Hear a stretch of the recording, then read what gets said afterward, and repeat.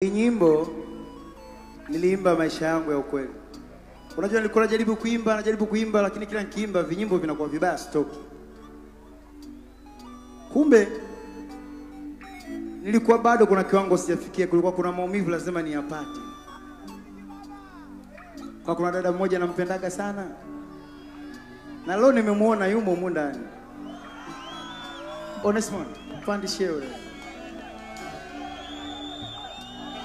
Huyu dada anaitwa Sara.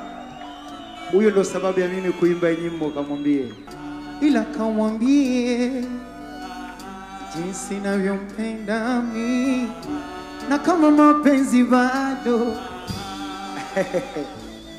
Wakati huo uko mdogo mdogo, binti. Sara jo jo Sara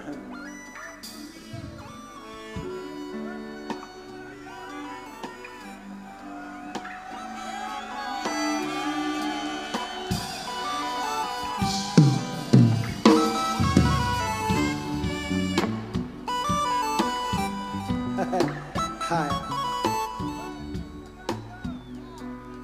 hawezi anaona aibu. Unajua ashakuwa na familia sasa toto na nini. Sasa huyu ndo Sara, miaka kumi na tano nyuma alimwimbia hii nyimbo, akamwambia kuwa nampenda sana.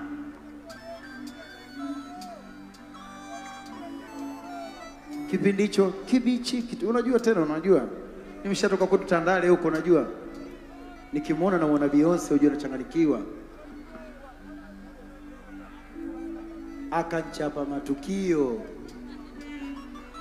ndo nikaenda kuandika hii nyimbo, na kile nilichokimba humu ndani nikiandika kwa sababu yake.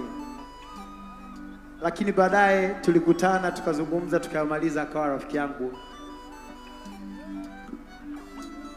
Basi kama unaijua, tafadhali imba na mimi. Ase, enda kamwambie jinsi navyompenda mi